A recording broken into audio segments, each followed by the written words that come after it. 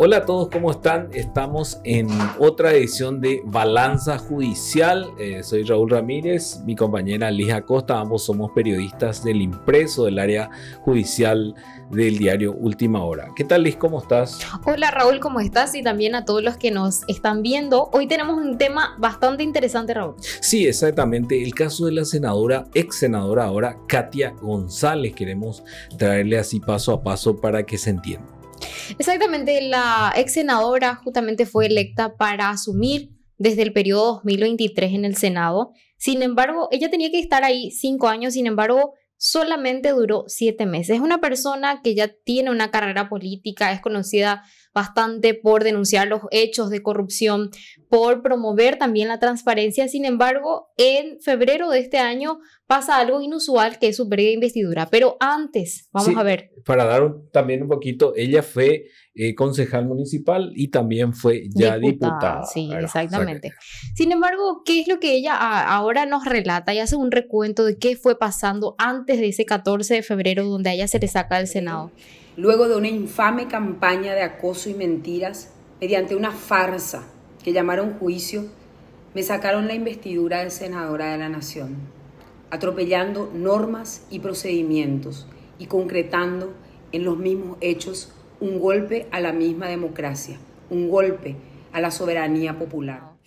Ella denunció que ya eh, desde la Contraloría General de la República supuestamente se empieza a legitimar una hoja de ruta un plan, incluso habla ella, para poder, no sé, sacarla del Senado. Habla de que primeramente denuncian que había un comisionamiento irregular entre sus funcionarios. Y luego eso se consolida supuestamente con una serie de, lo llama ella, noticias falsas y incluso tilda a mercenarios digitales que fueron rentados supuestamente por el cartismo. Esto es lo que habla de, que se fue posicionando aproximadamente 30 días antes de su pérdida de investidura. Estamos hablando de un mes antes. Habló ella, denunció que hubo hasta compra de Vox de más de 25.600 perfiles falsos. Imagínate, y que existieron recursos públicos para poder hacer estas compras. Habla de que no solamente estuvo la Contraloría General de la República involucrada, sino que también Dice que la propia fiscalía fue parte de este engranaje. Es lo que denuncia la ex senadora y que luego ya de, estas denuncias por parte de Contraloría, la fiscalía decide abrir, digo bien, una investigación en contra de este supuesto comisionamiento irregular de uno de sus funcionarios, que era José Torales. Eh, y que fue parte, ella dice, la fiscalía también fue parte de esto, deciden investigarlos a ellos y ahí se inicia toda esta serie de denuncias en su contra, bastante críticas que llevaron, digamos, a hacer un camino en contra suya. Yo tuve la certeza que a mí me echaban de la Cámara el 25 de enero, porque mm. se venía generando una campaña de mucha violencia que iba tomando, digamos, cuerpo, forma, y ya estaban muy visibles los actores, fundamentalmente políticos. A raíz justamente de esa investigación que abrió la Fiscalía el 13 de febrero de este año, eh, envían una nota a unos senadores al presidente de la comisión permanente, Colin Soroka, donde piden, por supuesto, eh, la pérdida de investidura. Se fija la reunión para el 14 de febrero a las 10 horas, pero fue levantada por falta de quórum. Nuevamente hay otra nota, ya dirigida al presidente del Congreso, Silvio Ovelar, en ese entonces, y ellos piden nueva, una sesión extraordinaria para tratar el tema. Así es que, según justamente ella comenta, a las 11 y 39 empezó la sesión ya. El mismo día. El mismo día. Y ahí es donde eh, se hace, eh, ¿cómo se llama? Todo el proceso por el cual finalmente ella es, eh, pierde la investidura. Ella habla y específicamente esto es lo que se sucedió ese día, que el 20 de diciembre del año anterior se había aprobado una resolución eh, que reglamentó el proceso de pérdida de investidura. ¿Qué tenía estos puntos? Tenía algunos requisitos, eh, presentar documentos, tenía que también eh, haber incluso prórroga, tenía que darle el derecho a la defensa siete días para que ella pueda estudiar o para que la persona que está siendo investigada o con pérdida de investidura, o sea, para ese juicio, tenga posibilidad de la defensa, incluso una prórroga de 10 días. Después iba a haber un pronunciamiento de la, Comisión de Asuntos Constitucionales, Defensa Nacional y Fuerza Pública, inclusive de la Cámara, para posteriormente también eh, hacerlo. Eh, al proceso de liberación y finalmente la votación. Se necesitaban, según este reglamento, 30 votos. Todo eso no se... Quedó sin efecto, parece de repente, ¿verdad? Sí, lo que ellos hicieron eh, fue decir que este reglamento estaba en contra de lo que dice la Constitución, el 137. Entonces ellos eh, dijeron, bueno, vamos a aplicar directamente la Constitución. Es así que ellos, eh, o sea, se constituyeron directamente en comisión, el, Senado, ¿verdad? Y ellos son los que hicieron este proceso, ¿verdad? Finalmente, con solo 23 votos, eh, aprobaron la pérdida de investidura y hablaron de lo que sería eh, el tráfico de influencia. Sería. Por resolución 431 del 14 de febrero, finalmente se aprueba la pérdida de investidura de la senadora Katia Mabel González. Se declara que hubo comprobado el uso indebido de influencias. bueno, y con relación a, la pérdida de investidura misma, se planteó una acción de inconstitucionalidad justamente ante la sala constitucional de la Corte. ¿Y cuáles son los fundamentos en principio? Primero, cita, la acción está bastante bien eh, presentada. ¿En qué sentido? En que va estudiando todas las resoluciones previas con respecto a lo que serían pérdida de investidura, senadores. Y dice, bueno, es el primer caso, ¿verdad?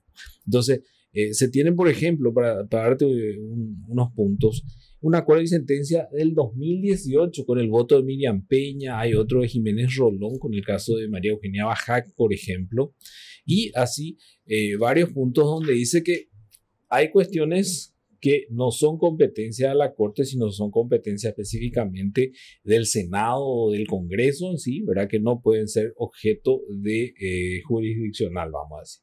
Pero hay otras cosas que sí, como eh, la violación del derecho a la defensa y del debido proceso. Entonces, lo que, lo que se plantea acá es que con todos estos actos que se realizaron, en realidad hubo una violación de varios artículos de la Constitución. Eh, la violación del Estado de Derecho, la violación de los artículos 16 y 17 de la Constitución. Sería defensa en juicio y derechos procesales, por ejemplo. Y también eh, hablan de que ellos incluso hicieron de Corte Suprema, porque ellos, e, este reglamento no fue atacado de inconstitucional en ningún momento, sino que en realidad ellos dijeron que era inconstitucional, ¿verdad? Entonces tomaron atribuciones que solamente tiene la sala constitucional de la Corte y eso está en la misma Carta Magna.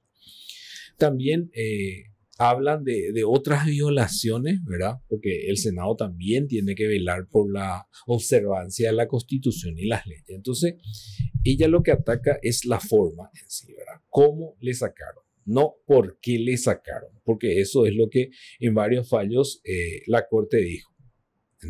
Aclara ella eso, ¿verdad? Y, un punto bastante fuerte es el derecho a la defensa. A ella, ella no se le dio tiempo para defenderse. No se le dio tiempo, no. De hecho, no, no le notificaron, no recibió la acusación. Dice, esos puntos son específicos que ella ataca y que, bueno, ¿Qué pasó después? Esta acción se le da trámite, los ministros dicen que, bueno, está fundada, es eh, ¿cómo se llama? Es objeto, puede ser objeto de estudio en sí, porque podrían haber rechazado in limine también.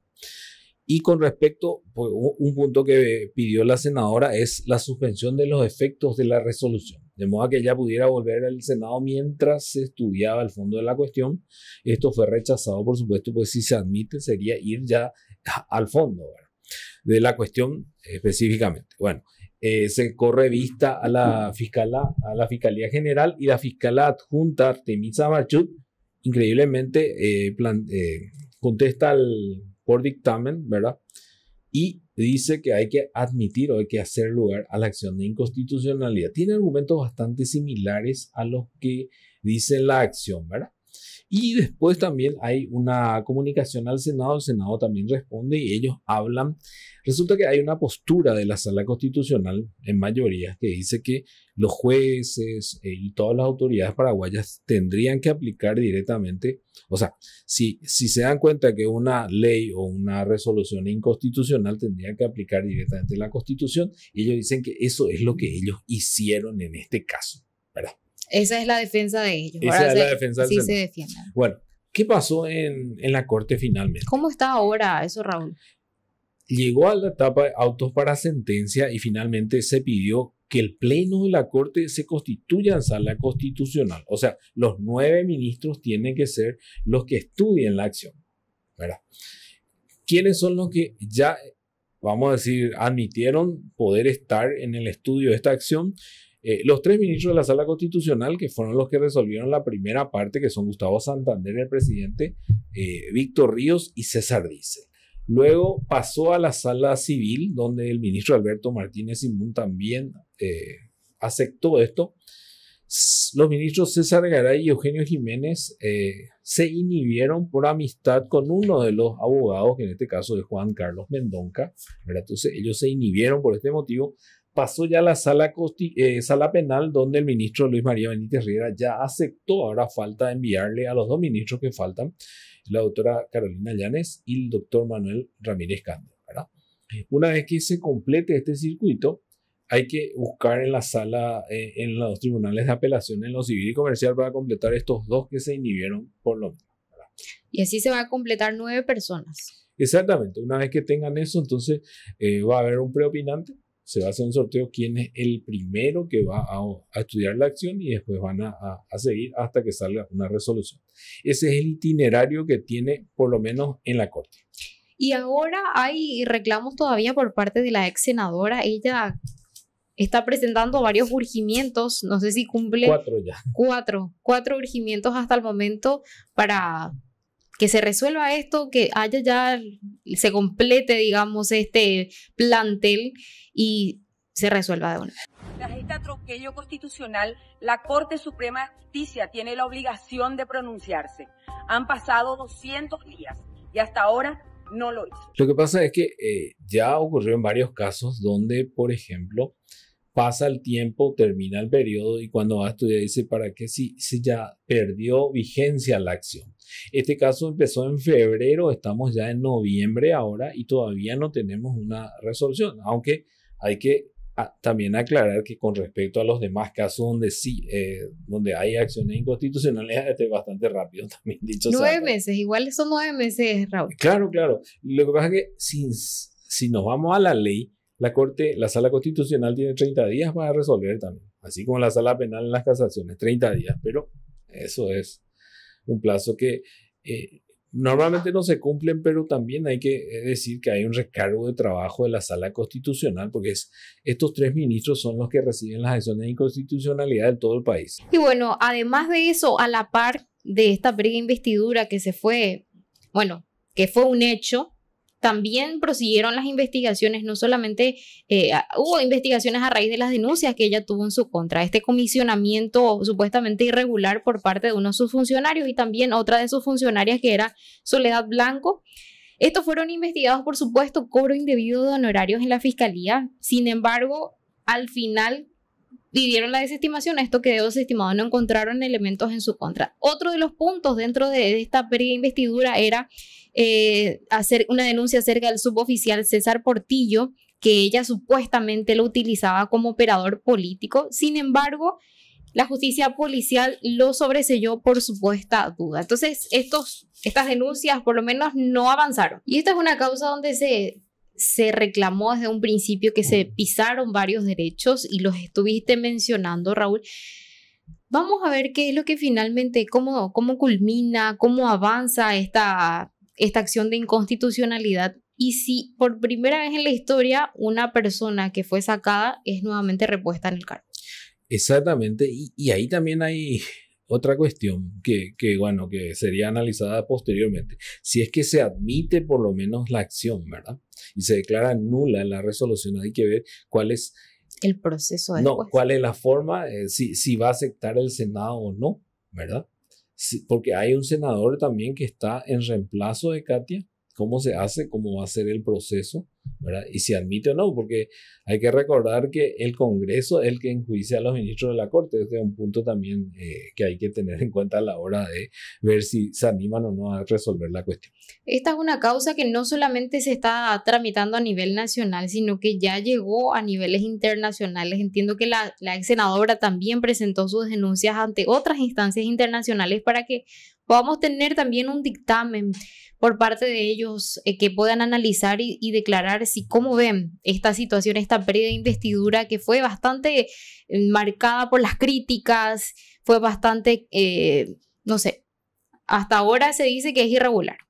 Y vamos a ver qué es lo que dice la, la, la, Corte Suprema de Justicia, porque estamos esperando, por lo menos lo que cubrimos tribunales, lo que dice la Corte sobre este tema porque va a ser un fallo bastante importante. Exactamente. Y esperemos que esté histórico. Bueno, nos vamos, Raúl. Nos vamos y vamos a encontrarnos eh, la próxima semana con otra edición de Balanza Judicial. Hasta la próxima.